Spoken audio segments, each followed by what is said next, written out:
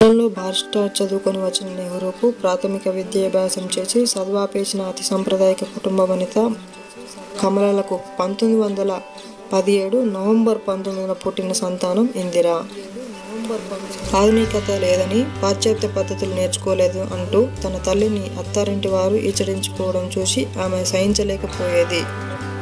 దీనికి తోడు రాజకీయ కుటుంబం కావడం స్వతంత్ర సంగ్రమం సాగుతున్న కాలం కావడంతో తరచూ పోలీసుల దాడులు అరెస్టులు కోర్టులకు తిరగడం తల్లిదండ్రులకు దూరంగా ఉండాల్సి రావడం ఇవన్నీ ఇందిరాను చాలా ఆందోళనకు గురిచేసేవి మేనత్తలు విజయలక్ష్మి పండిట్ కృష్ణహతి సింగ్ కూడా జైలు పాలయ్యేవారు.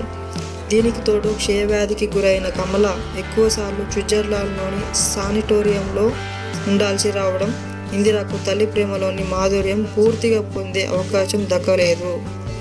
తండ్రి కూడా తల్లిని చులకన చేయడం ఆమెకు నచ్చేది కాదు.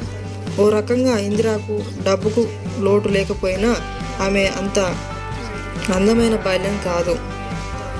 పన్నెండవ ఏట మంకీ బ్రిగేడ్ పేరిట ఏర్పడ్డ పోరాట సంఘటనలో చురుగ్గా పాల్గొని తొలిసారిగా తాను స్వతంత్ర సమరంలో పాల్పంచుకుంది. మొదట బ్రిటిష్ కాన్వెంట్లోనూ ఆ తర్వాత శాంతినికేతంలోనూ ఆమె చదువుకుంది. డిగ్రీ చదువు కోసం ఆక్స్ఫర్డ్లోని సోమర్విల్లే కాలేజీలో పంతొమ్మిది వందల ముప్పై ఏడులో చేరింది. History anthropology public administration political సైన్స్లో డిగ్రీ చదివింది. లండన్ స్కూల్ ఆఫ్ ఎకనామిక్లో చదువుకున్న ఫిరోజ్ను ఆమె తండ్రి ఇష్టానికి వ్యతిరేకంగా ఇందిరాగాంధీ పెళ్ళి ప్రేమకు సంబంధించిన వీడియో పాటలో వస్తుంది. మా ఇలాంటి వీడియోని చూడడానికి మా ఛానల్ని సబ్స్క్రైబ్ చేయండి.